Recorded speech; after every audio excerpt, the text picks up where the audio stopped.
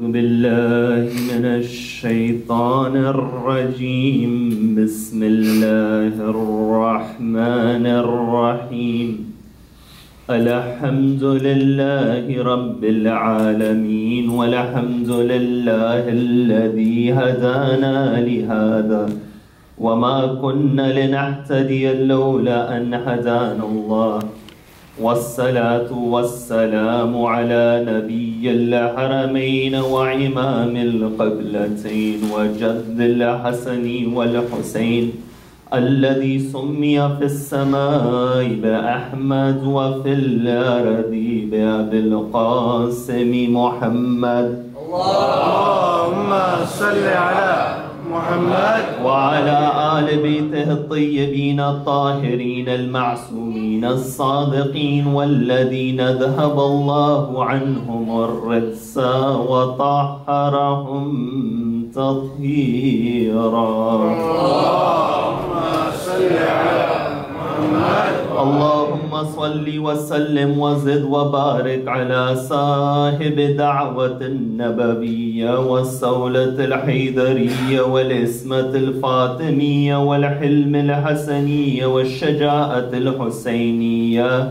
والعبادة السجادية والآثار الباقرية والمآثر الجافرية والعلوم القادمية والحجج الردوية والجود التقوية والنقاوة النقبية والحيبة الأسكرية والغيبة الإلهية. اللهم عجل فرجه وسهل مخرجه. أما بعد فقد قال الله في كتابه الكريم بعد أعوذ بالله من الشيطان الرجيم. بسم الله الرحمن الرحيم.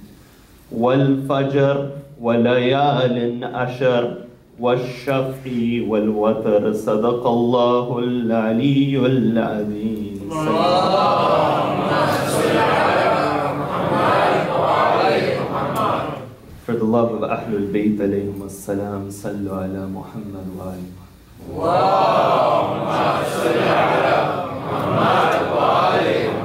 For the hastening of the reappearance of the master of our time, sallu ala Muhammad wa ali Muhammad.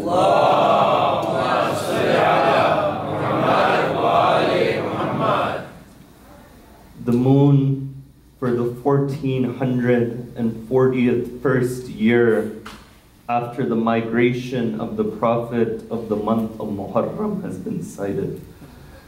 And the hearts have sunken in remembrance of that martyrdom which is unparalleled in human history. Up until yesterday, each one of us had our own trials and challenges and obligations. Our hearts were scattered, our minds were divided, we had our responsibilities, we had our duties. But it seems as if all this multiplicity and division has given its way towards one name which flows through the hearts and each and every single one of us and upon our tongues. And that name is none other than the name of Hussein. The Big Hussein! The Big Hussein! The Big Hussein! The Big Hussein! The Big Hussein! You see, it's interesting when you think about it. You spend your entire life trying to avoid difficulty, trying to avoid sadness, that from the age of 18 to the age of 22, 23, you study 10, 11, 12 hours a day. Why? So later in your life, you don't go through hardship, you don't face sadness, you don't face difficulties that you work from 8 to 5, 40 years, you work 12, 11, 13 hours a day. Why? So you avoid difficulty and challenges within your life. Your whole life you spend avoiding gham and sadness. But there's only one sadness within this world that instead of avoiding it, you anticipate it, you wait for it, and that's the gham of Sayyid al-Shuhada. That the day of Ghadir passes, you say 12 more days until Muharram. That the moment Ramadan passes, people begin counting until Muharram. No, when Muharram it finishes, you wait until the next year, and even after it begins, you say 10 more days until Ashura. 40 more days until Arba'een. But what is it about this gham and this sadness for Sayyid al-Shuhada that makes it unlike no other gham and sadness upon this earth?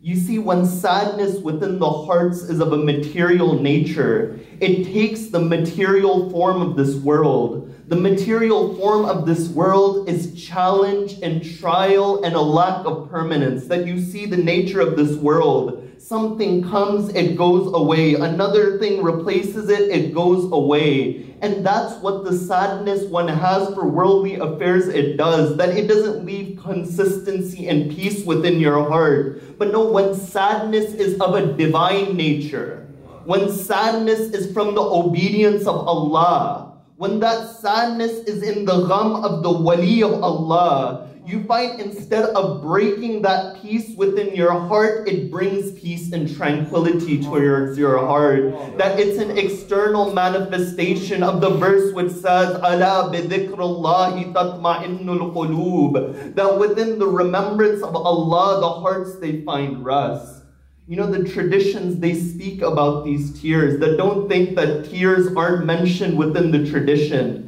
When Sheikh Abbas al-Qummi, he writes his famous maqtal on Imam al-Hussein, Nafasul Mahmoom. You find the first chapter towards that maqtal, he writes about the ajr and the reward of the tears for Aba Abdullah and sending lan upon the killers of Sayyid al-Shuhada. That he mentions 40 traditions within the first chapter, that many different traditions are mentioned over there but you find it's these tears which are in the obedience of Allah. It's these tears for Sayyid al-Shuhada about which Rasulullah he states, Ya Fatima, kullu ain baqiyatun yawm al-qiyamah illa ain baqat ala musab al-Husayn. Rasulullah says, O Fatima, that no every eye upon the day of judgment will cry that upon that day, where every reality is unveiled, that whatever a person spent 70, 80, 90 years hiding from everyone, everything is open upon that day. On that day, there will be difficulty, there will be challenges, but you find the tradition, it says, every eye will cry, except for that eye which cries over the musibah of Sayyid al-Shuhada, فإنها ضاحكة مستبشرة من نعيم الجنة for that I will be smiling and laughing from the blessings of paradise that that person receives. You know, this Ashra of Muharram is amongst us once again. That we thank Allah for this divine tawfiq, this opportunity. That there are many in this hall that were here last year, but they're not amongst us. and the sad reality is that it's very possible that there are some in this hall right now that next year they won't be amongst us. That Allah has given us this opportunity, that these days aren't like other days. The Quran, it states, Bismillah ar-Rahman ar-Rahim, chapter 89, Wal Fajr wal Layalin that by the daybreak and by the ten nights, you know, when you look at the tradition of the sixth Imam, the sixth Imam would say, Iqra'u Surat al-Fajr. He would say, recite Surat al-Fajr. Why? Because this is the surah of Hussein ibn Ali. That this is that surah which addresses Sayyid al-Shuhada. It says, Ya ayyatuhan nafs al-mutma'inna. It says, O contented soul. This is that chapter that says, Walayalin ashar. That by the ten nights. Mm. You know, the Mufassirin, they discuss that what are these ten nights? One group, they came forth and said, it, are it is 10 nights in the month of Dhul Hijjah. But no, there was another group that said, it is these 10 nights that you find when the Quran, it says, Walayal and Ashar. It's a reference towards the first 10 nights of Muharram. That these nights aren't like any other night. That although that we begin our remembrance of Sayyid al-Shuhada, you find from this night of the first of Muharram, each and every single one of us begins a journey. And that is the journey of Ishq, That is the journey of the soul. That is the journey of returning towards man's origin, which is the creator of Allah. You see, the beauty of this journey is that although we are going towards Allah, that is where we came from in the original sense that a person he doesn't undertake a journey unless he knows something about the destination. But you find the quran it says inna lillahi wa inna ilayhi raji'un and you find it's through the wasila of sayyid shuhada that we seek to facilitate this return towards the creator. And it's my tradition that as long as I've been given the honor to serve Sayyid al-Shuhada, to address the majalis of Imam al-Hussein, the first night, I always speak about the philosophy of the Aza and the mourning of Sayyid al-Shuhada and the philosophy of the movement of Sayyid al-Shuhada. You find it's a tradition from many of our ulama from the subcontinent, from Iraq, from Iran, wherever they may be, that this first night, when the moon of Muharram is sighted, they spend this first night speaking about the realities of mourning Sayyid al-Shuhada. And the topic of analysis which I picked is examining that famous hadith of the eighth Imam, where he speaks to his companion Rayyan ibn Shabib and understanding the methodology to approaching the month of Muharram. That you find when this month has been given this importance, there has to be a way in which we approach it, a way which is dignified of this month, a way which allows us to maximize our benefit from this month.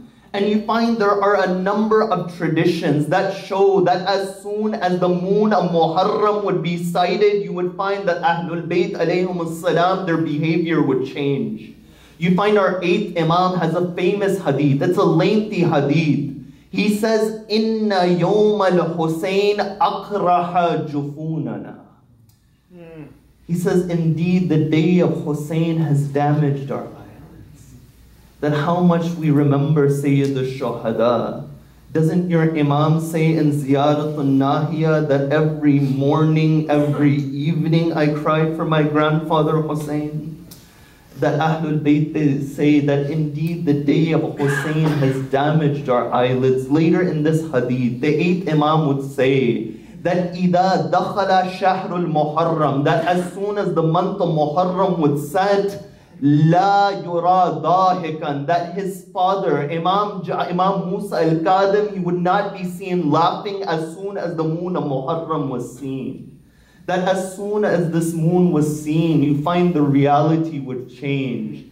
And it was upon the sighting of the moon of Muharram that Rayyan ibn Shabib, he walks in upon Imam Ali ibn Musa al-Rida salawatullahi wa salamu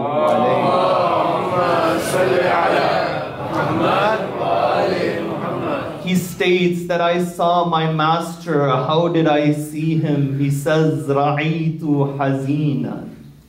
That I saw my master in a state of grief. I saw him crying. I said to Imam al-Rida, Oh Imam al-Rida, why are you crying? You find, he says, Oh Yabna Shabib, do you not know that the moon of Muharram has been sighted? Then he says to him, Yabna Shabib, Asa'imun anta, are you fasting, O son of Shabib? Yabna Shabib, he says, no, I'm not fasting. He says, Al-yawm huwa al-yawm alladhi da'a Zakariya fihi rabbahu azza wa jal wa qal, fahabli min ladunka waliya. That what did Zakaria say? The Imam says this day of the first of Muharram, is that day when Zachariah prayed towards his creator that, Oh Allah, give me a son. You find it stated within the verse that Zachariah, he feared that his family members would take that right of prophethood, that right of authority, and they weren't capable, they weren't fit of that right. You know, it's stated about Zachariah. Who is Zachariah? You know, the mother of the lady Maryam. Her name is Hannah or Marta according towards the traditions. She had a sister by the name of Hanana. The sister of the mother of Maryam was married towards Zachariah. So Zachariah, Nabi Zachariah, is the maternal uncle of the lady Maryam. You find the mother and the father of Maryam, they made a dua that this child which is within the womb, as soon as this child is born, we will dedicate this child towards the temple. You know, in that time, in the house of God, there was a tradition amongst Banu Israel that oftentimes the parents they would relinquish their right towards parenthood and they would dedicate the child in the services of that temple of Allah. That within there they would learn ibadah they would serve the priest. They would serve the guests of Allah. You find Zakaria he was the head priest and the caretaker of Maryam when he walks in towards the temple he sees that there are fruits in front of Maryam he says, Oh Maryam, where did you get this from? Maryam says, Allah provided it for me. Then you know the khususiyat of these fruits is that the fruits of the summertime would be there within the winter. And the fruits of the winter time would be there within the summer. Zakaria, he goes through a realization that if Allah is able to do this, then at that point I will pray towards Allah to give me a son who will be my successor. You find Imam al-Rida states that dua took place upon the first of Muharram. At that point, Allah, He accepted the dua of Zakaria. And He said towards the angels, tell Zakaria, وَهُوَ قَائِمٌ يُصَلِّي فِي الْمَحْرَابِ That while he was standing praying within the mihrab, Yahya that we give you good news of a son whose name is Yahya. Imam al-Rida, he states that whenever you have any hajat, fast upon the first of Muharram, ask Allah, Allah will accept those hajat towards you. You find after that the tradition of Yabna Shabib, it states it states, O son of Shabib, know that the Arabs of the age of ignorance, they made it forbidden to fight and commit oppression within this month. But that ummah of the Prophet, look what they did. That they did not respect this month, neither did they respect their Prophet. Why? Because they killed his family within this month. They took his women out openly within this month, and for that, Allah will never forgive them. You find from this first portion of the hadith, we understand a number of different things about the methodology to approaching the ayam of Sayyid al-Shuhada, the methodology to approaching the month of Muharram. And the first realization that we need to make is that when we approach the month of Muharram, we need to avoid falling into the trap of what is called historicism. Then what is historicism? The definition of historicism states that the fundamental notion in human existence is historical events. And it is historical events which determine the rest of reality which is going on. There are too many in history, either in practice or in the recording of history, that when they examine the movement of Sayyid al-Shuhada, they only examine the historical angle. Now, we don't deny that there is a historical angle, but to only speak of the history is to limit Karbala. They say that Hussein, that when Muawiyah died, his son Yazid, he sends a letter to Walid bin Utbah in Medina that either kill Hussein or take Because of that, he goes to Makkah. Then he goes towards Kufa. He gets stopped. He's killed in Karbala. Everything is a historical reaction, one after another. But you find, no, this isn't just that reality. The reality is, is that Karbala was the execution of the Mashiach and the divine will of Allah. Then what do I mean when I say it is the execution of the divine will of Allah? Does that mean that everything was predestined? No. You find you and I are asked of things according to our level. That we're asked to stay away from certain prohibited things. We're asked to pray. We're asked to fast. We're asked to give charity. We're asked to do different things.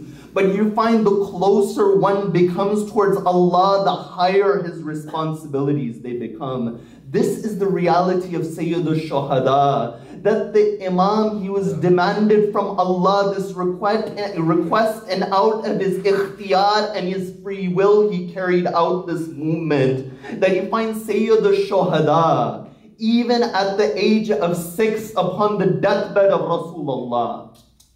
You know, in Urdu poetry and in Persian poetry, you often hear the mention of something called wada That what is this wada tifli? That what is this childhood promise that Imam and Hussein he made? That when you go towards the tradition of Bihar al-Anwar and you look at that chapter which speaks about the passing of the Prophet, it stated that when Sayyid al-Shuhada, at the age of six, you find Jibreel and Mika'il descend upon Rasulullah they say, O Rasulullah, that this is what will occur towards your family members, towards Ali, towards Fatima, towards Hassan, towards Hussein. You find each member of Ahlul Bayt, they accepted this reality. Then you imagine a child at the age of six, he is being told that you will be slaughtered and massacred. That child at the age of six is accepting that reality. How can we understand Sayyid al-Shuhada upon the day of Ashura then? That when at the age of six, he showed us such realities that we can't understand this individual. That at the peak of his life, how are we to understand Sayyid al-Shuhada? you find this is that reality of the Imam. And when we come towards the Azah of Sayyid al-Shuhada, when we come to these gatherings remembering the Imam, it's not that historical aspect which pulls us, that we come, we listen towards the history, but you find nobody in here sits in this hall with the niyat of listening towards a historical lesson. No. Rather, you come here to please the heart of Fatima Zahra. You come here to please Allah. You come here because it is a devotional act, because it is an act of ibadah. You find this is that second reality, the second methodology to approaching Muharram is don't limit it towards a material nature, towards an exoteric practice. No, recognize the spiritual reality within this. You know, each and every mourner of Imam and Hussein has a position. That if you're sitting here within this hall today, don't think of it as something small. It's the du'as of somebody that bring you here. It's the du'as of that mother that upon her deathbed she says, O Fidda, when my son Hussein goes to sleep, make sure you put water at the bedside of Hussein. It's that mother's du'as who bring you here. You know, each and every one of us in this hall are different. We come with from different backgrounds. We have different mentalities. We have different inner natures, and you find those differences, they manifest themselves in different ways when it comes to the azah of Sayyid al-Shuhada. And this point which I'm making is a very important point which I want each and every single person to pay attention to.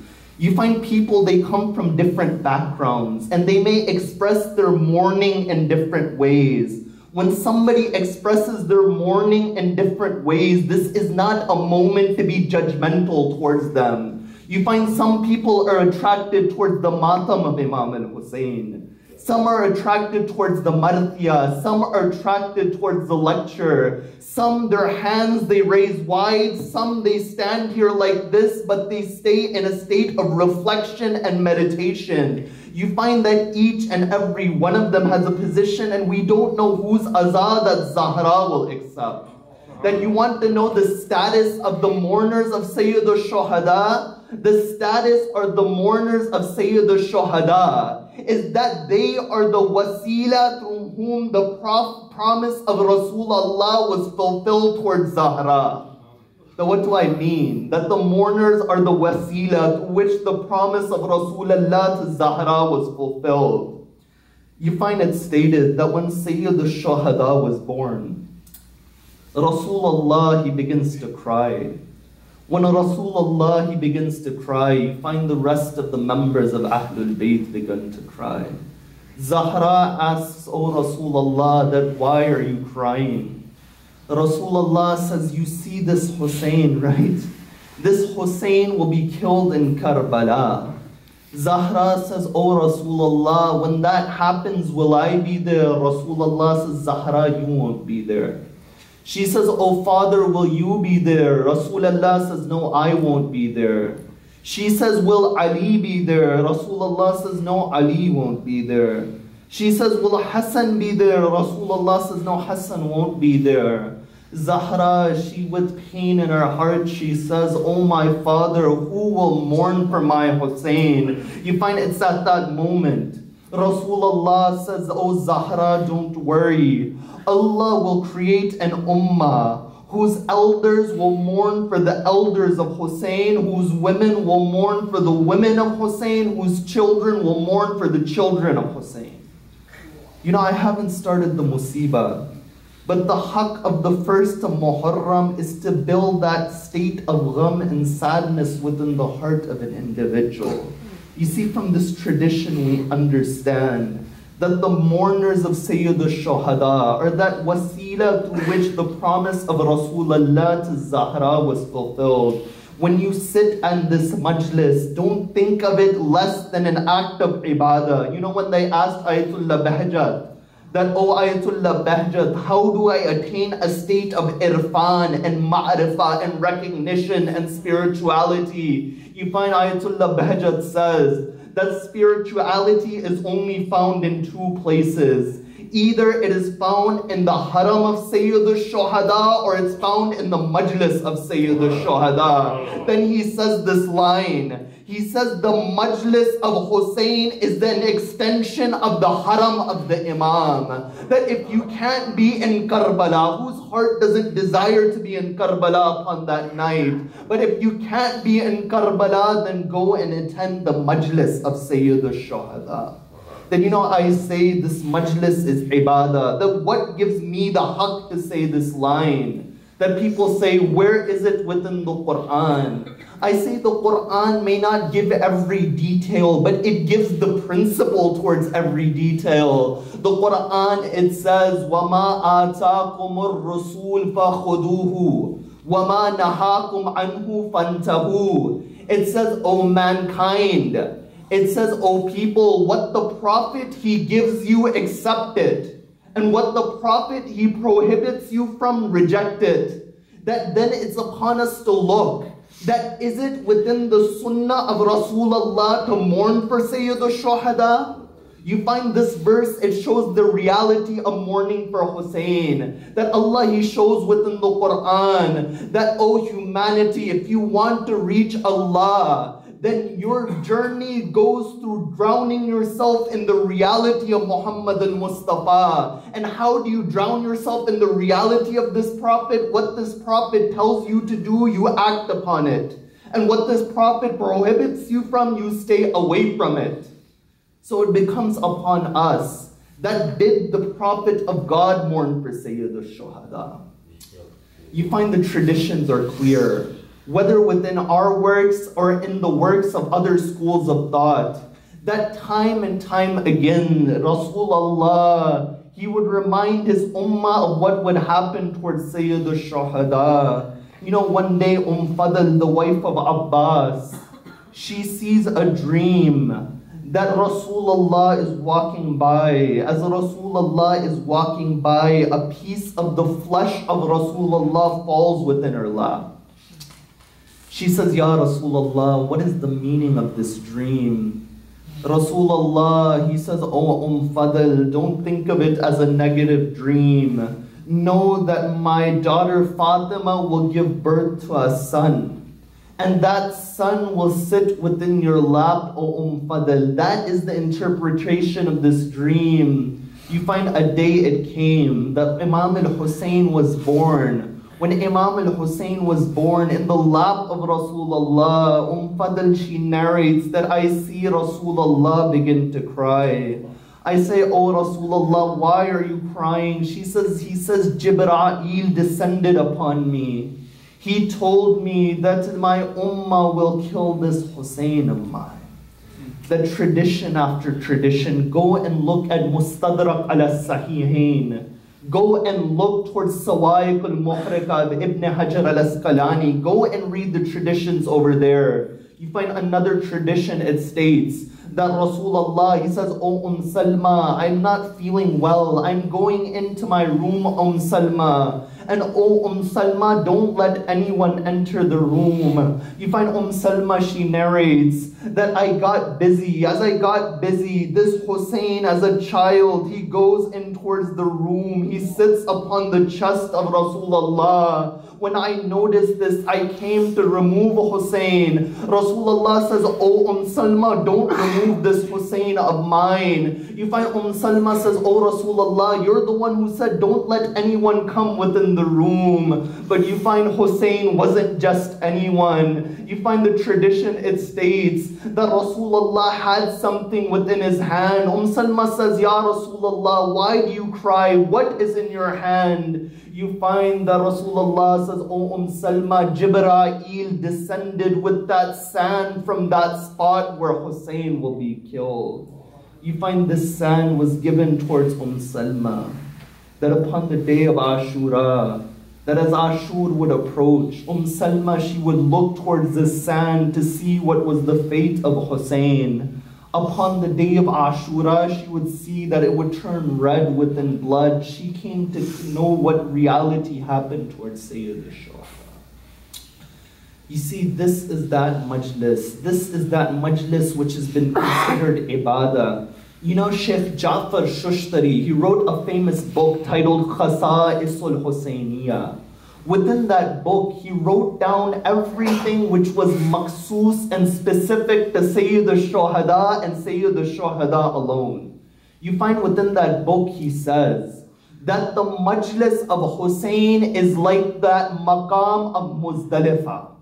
That what is the maqam of Muzdalifah? The maqam of Muzdalifah is that maqam where you pick up the stones, you throw it upon the statues of the shayateen. That although from the outwards you're throwing rocks upon those shayateen, the inward reality, the inward spiritual nature of the act is that you are throwing out bad habits from your life that you pick up one stone, it symbolizes a bad habit. He says the majlis of Hussein is like the spot of Muzdalifah. That when you come to the majlis of Hussein, you find the hearts, they become to be reformed through the majlis of Sayyid al-Shuhada. Then after that, he states that the majlis of Hussein is like the plain of Arafah. Then what is the plain of Arafah? you find that when Adam was sent towards this earth, Adam was upon one spot. His wife Havva was upon another spot. The plain of Arafah is when they meet each other for the first time upon this earth. The reason it's called Arafah, the word Ma'rifah comes from the same root, that it is the plane of recognition. Sheikh Ja'far Shushtari says that the majlis of Hussein is that plane of recognition. That when one wants to understand his creator, you do it through the wasila of Sayyid al-Shuhada. You know, many of you who have an interest in poetry, you've heard the name Josh Malihabadi. This individual was a poet within the subcontinent you find that he was a Muslim. He wasn't a Shia. Then he became an atheist. Then he becomes a Shia. They say, oh man, what's your life story? That you were a Muslim, you become an atheist, then you become a Muslim again, and out of all of the different sects, you become a Shia, a follower of 12 Imams. He says, what allowed you, what drove you to come back? He says that it was no logical argument. I didn't study and I didn't study. There was one thing which I saw. I saw that Hussein sacrificed everything for his creator. That if a man is willing to make that sacrifice, then he must be sacrificing for a creator. That if he's willing to sacrifice for his creator, then there must be a creator whom he is sacrificing for. You find this is that reality of Sayyid al-Shuhada and you find this tradition of Yabna Shabib. It mentions etiquette after etiquette. After this, the Imam, he says, Yabna Shabib, in kunta bakiyan li shay'in fabki lil Husayn He says, O son of Shabib, if you ever want to cry over anything, whether it's your family problems, whether it's your broken heart, Whether it's any personal trial, then make the niyyah that you're crying for Imam al Hussein. You see, this act of crying is something which has been going on since the beginning of humanity, that Adam cried for Sayyid al-Shuhada. You say to me that, oh Sayyid, how can you make this line? There were no historians in the time of Adam to write what he did. I say you're right, there were no historians. But those creations that when nothing was there and their light was there around the arsh, you find their traditions mention that Adam cried for Sayyid al-Shuhada, that as Adam was going upon this earth looking for Habba, as he passes through the plain of Karbala, he falls upon the ground, his forehead hits the ground, he begins to bleed. He says, Oh Allah, I am your prophet. Allah, he says, Oh Adam, you didn't do anything wrong. But oh Adam, within your lineage, there will be a prophet by the name of Muhammad his grandson will be killed upon these plains, ghariban wa adshana. His grandson will be killed upon these plains as he's alone, as he's thirsty. You know, it's stated that after Zakaria, he made his dua. He was there, Allah revealed the names of Muhammad, Ali, Fatima, Hassan, and Hussein salam upon Zakaria. Zakaria, he says, Oh Allah, when you revealed the first four names, I didn't feel sadness within my heart. But when you revealed the name of Hussein, I felt sadness within my heart.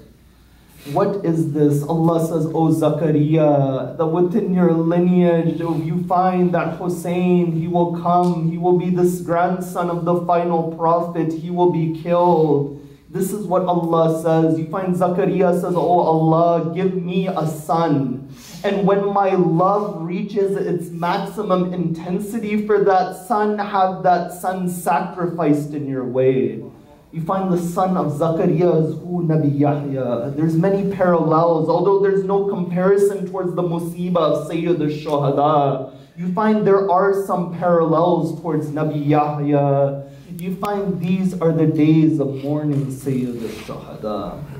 You know, there was much to say about this tradition, and there are many lines left. For example, within this tradition, you find that Imam al-Rida says, O Yabna Shabib, when Hussein was killed, the seven heavens and the earth, they mourned for Sayyid al-Shuhada.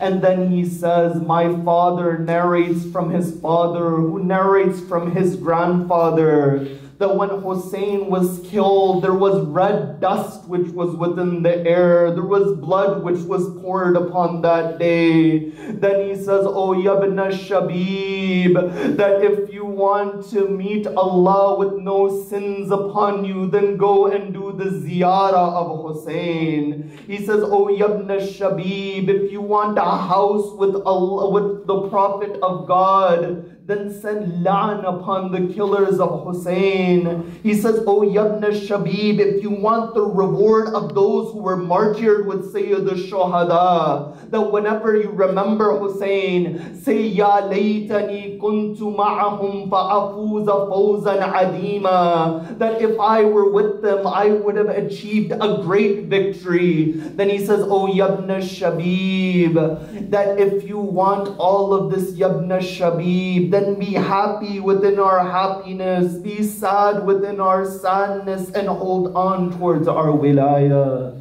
It's a lengthy tradition, and as the nights they continue, I'll mention more portions of this tradition. But I see the tears that begin to fall from the eyes, and the ulama they state that when the tears they fall at that moment, recite the musibah of Hussein. The what is the musibah of Sayyid al-Shuhada? You know, within this tradition, Imam al-Rida, there was one line I left for the end, and that line it says, Yabna Shabib in kunta bakiyan li shayin fabki lil Hussein ibn Ali.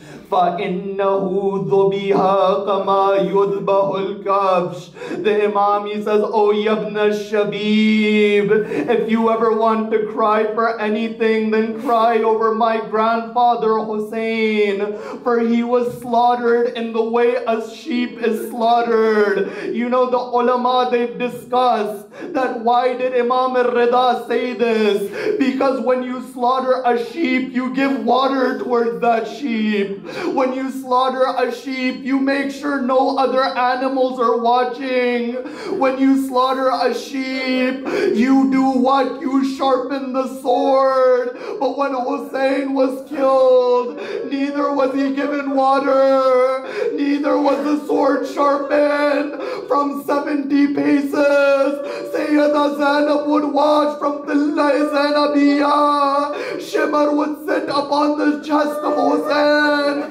Why does Imam al-Rida say, إِنَّهُ ذُبِيَا كَمَا يُذْبَهُ الْكَبْشِ The reason Imam al-Rida says this is that when you slaughter a sheep, no one is there to say, stop, don't slaughter it. When they killed the grandson of Rasulullah, you find the month of Muharram has started. The moon has been sighted.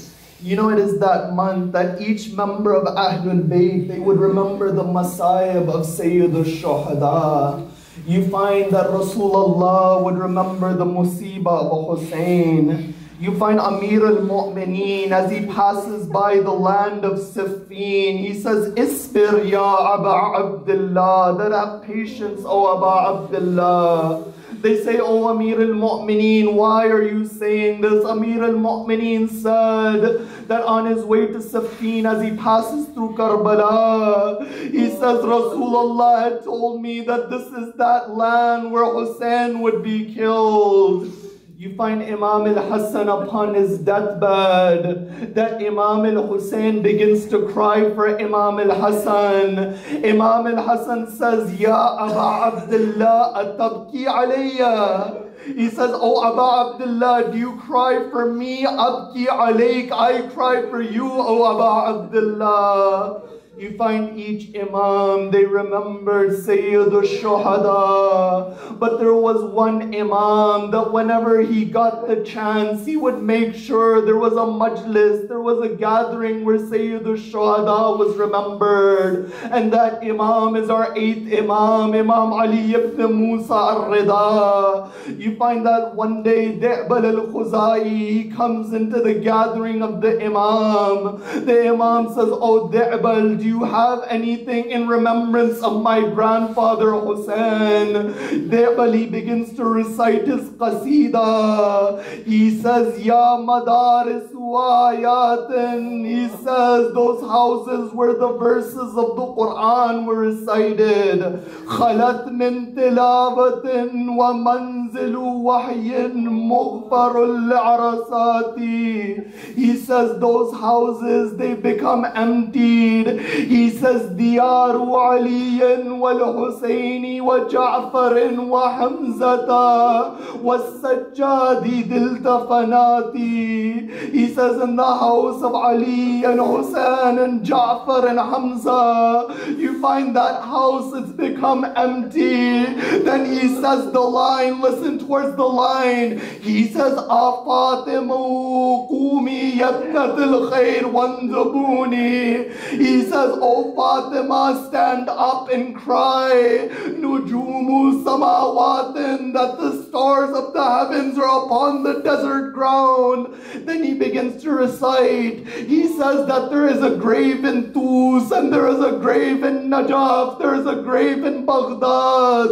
At that point, Imam al-Rida, he says, Oh Debal, can I say something that will be tamamu qasidatik, that will finish your qasida? You find at that moment Imam al-Rida, he says, وَقَبْرٌ بِتُوسٍ يَا لَهَا مِن مُصِيبَةٍ He says, and there will be a grave in Tus.